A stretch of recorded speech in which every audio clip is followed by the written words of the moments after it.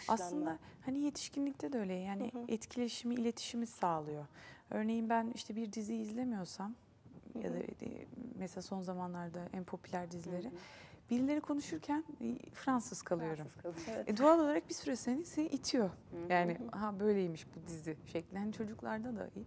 Hani bu tarafından baktığımızda aslında Konuşacak ortak Sosyalleşmesi için sosyalleşmesi ve etkileşim yani onun tarzı olmayabilir ama en azından hani onlar gibi olma. Ee, hani ergenlikte de yani diğerleri gibi olabilme yani tabii bazı kısım vardır marjinaldir daha kendi tarzını yakalamıştır veya farklılığı tercih eder ama bazı kısımda baktığınızda herkes bir örnektir. Örneğin e, e, geçen seneki programlarda bahsetmiştik bu mafya tarzı filmlerde bir ara herkes şey giyiniyordu. Yani o Siyah. işte paltolon, ne bileyim gömlek falan şeklinde böyle Beyaz dayı dayı atkı. dolaşıyorlardı. yani bu tarz şeyler de var. Ki e, liselerde de en fazla e, geçen yıl daha fazla dikkat çekiyordu. İşte kabadayı, işte mafya tarzı vesaire gibi.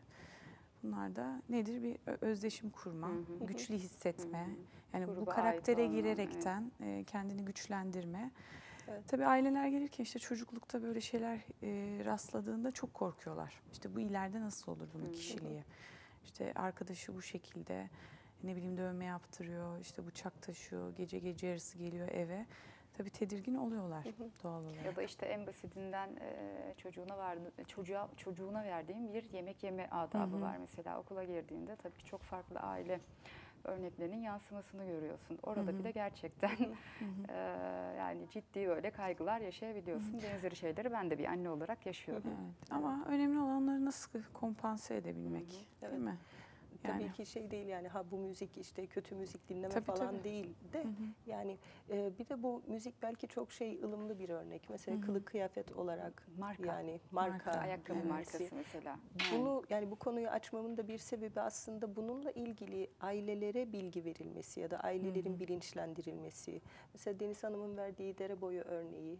Yani ben kızım ergenlik dönemine geldiğinde işte gece saat 1'e 2'ye kadar dere boyunda olmasını ya da işte e, diskoya gitmesini falan çok fazla tasvip edeceğimi evet. düşünmüyorum ve izin vermeyeceğimi de düşünüyorum. Yani işte dere boyuna gidilebilir belirli bir saate kadar. Yani bu 10-11 tarzı bir şey olur. Orada arkadaşlarıyla yemek yer. Bıraktığın yerden alırsın tarzında. Ama yani klinikte gördüğümüz genelde yani işte çok böyle şey işte hepsi böyledir falan diye de damgalamak kesinlikle istemiyorum.